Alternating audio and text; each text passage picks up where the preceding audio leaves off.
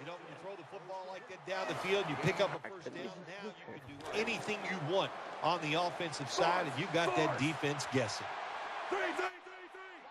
First down. I don't know. I'm not playing play.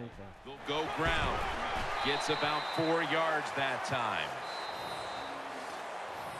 We're through one quarter, and we'll take a short break as you're watching the NFL on EA Sports.